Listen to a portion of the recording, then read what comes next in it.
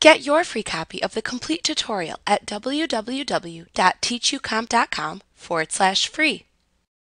In Publisher, you cannot apply font formatting to a text-containing object if it is selected as an object.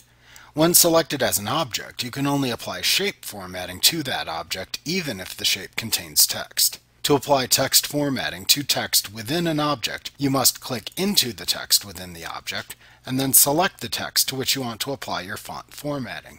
Once you have selected the text, you can click the buttons available in the Font button group on either the Home tab or the Format tab of the Text Box Tools Contextual tab in the ribbon to apply font formatting. Hold your mouse pointer over any button shown in the button group to see a screen tip that shows the name and function of each button. Note that some buttons, such as the Font Color button, have a small drop-down arrow on them that you can click to select a choice from a drop-down menu. Other buttons, such as the bold or italic buttons, are simply toggle buttons that either apply or remove the formatting specified by the button. Also notice the Clear Formatting button, which removes all text formatting from selected text, returning it to plain text within a text-containing shape. Alternately, if you select text within an object, you can also hold your mouse pointer over selected text and simply wait for the mini toolbar to appear. You can then use the formatting buttons in the mini toolbar to apply many common font formatting options.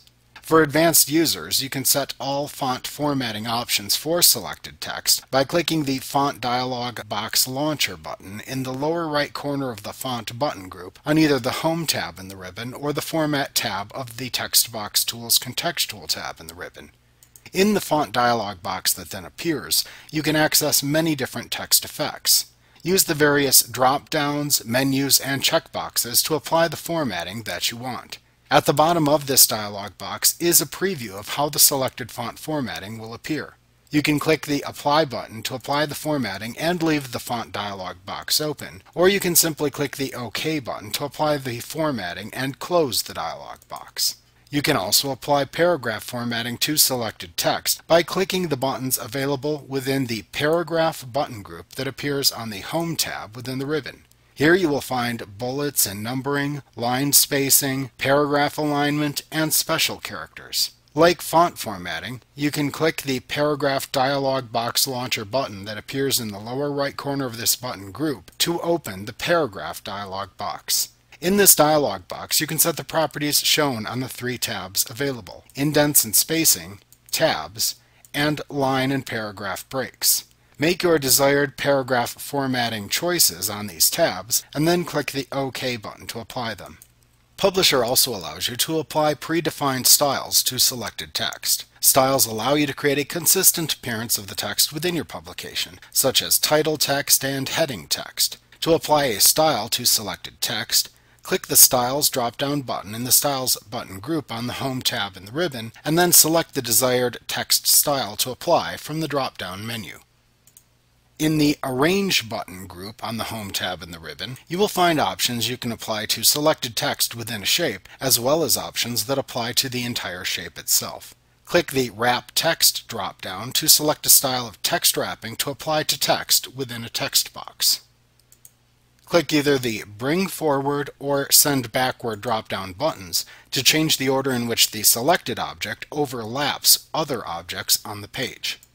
Click the Align button to choose one of the available alignment options displayed within the drop-down buttons menu of choices. If you have multiple objects simultaneously selected within your page, you can click the Group button to group the individual shapes together as a single unit. Clicking the Ungroup choice will split grouped objects back into their individual components. You can click the Rotate button to select a rotation option for the selected object from the drop-down menu of rotation choices. You can also click the Format tab of the Text Box Tools contextual tab within the ribbon to see other attributes that you can apply to selected text in a text box as well as to the text box itself. If you have text selected, you can click the Text Fit drop-down button in the Text button group on the Format tab of the Text Box Tools Contextual tab within the ribbon to apply a selected method of fitting text within the shape. You can click the Text Direction button to alternate the text between vertical and horizontal display.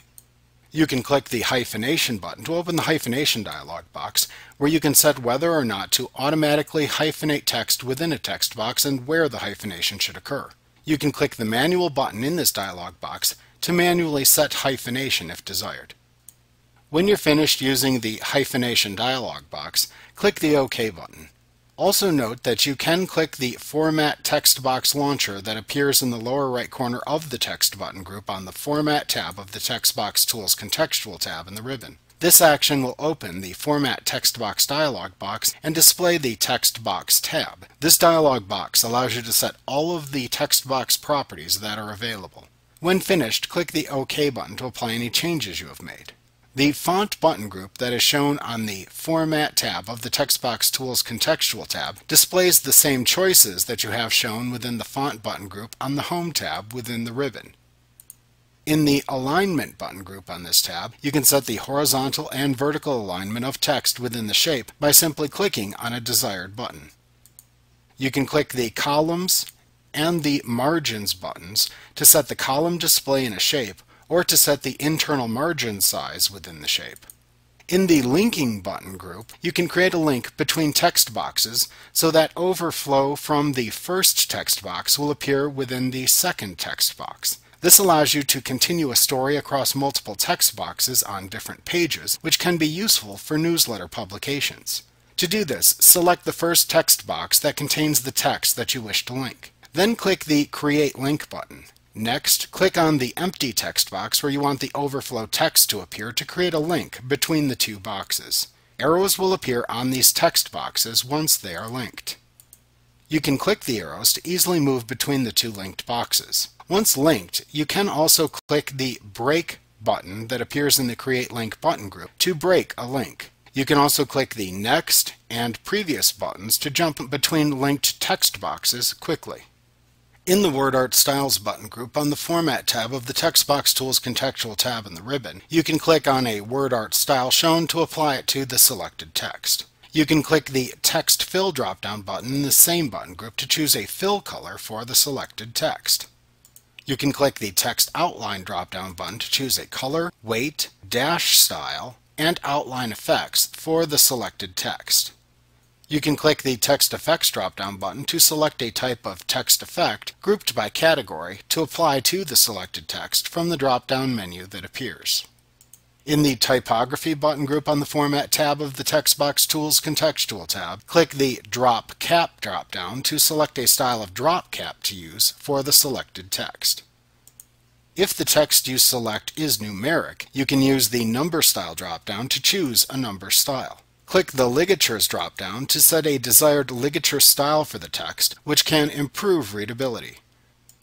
For some types of fonts, you can use the Stylistic Sets drop-down to select a set of alternate character shapes for the selected text. If the font you've selected includes decorative characters, then you can click the Swash button to enable flourishes within the selected text. For some types of fonts, you can use the Stylistic Alternate dropdown to select a set of different character shapes for the selected text. Like what you see? Pick up your free copy of the complete tutorial at www.teachucomp.com forward slash free.